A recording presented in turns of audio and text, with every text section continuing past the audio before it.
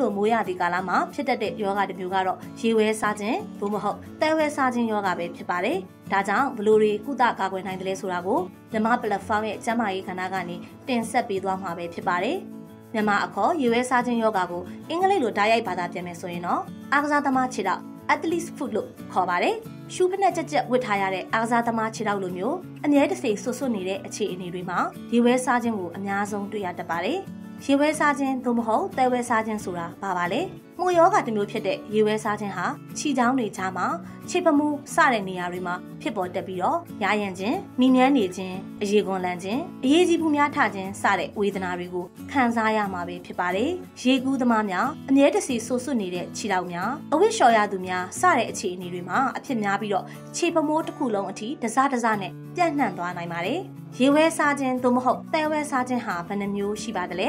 Inter Digital အများဆုံးတွေ့ရတဲ့ပုံစံဖြစ်ပြီးတော့ခြိချောင်းတွေကြားမှာပေါက်တဲ့ပုံစံမှာရာရန်ခြင်းအရေခွန်ကွာခြင်းပူဆက်ခြင်းစတာတွေကိုခံစားရနိုင်ပြီးတော့ခြေပွားတစ်ခုလုံးကိုပါပြန့်သွားနိုင်ပါတယ်မိုကတ်စင်ရာရန်ခြင်းအရေးပြား၆တွေ့ခြင်းကြာလာလျင်အရေးပြားထူတဲ့ကအချက်လိုက်ဖြစ်နေတတ်ပါတယ်အများအားဖြင့်ခြေဖမိုးတွေခြေဖွားတွေကိုပြန့်နှံ့နိုင်ပါတယ်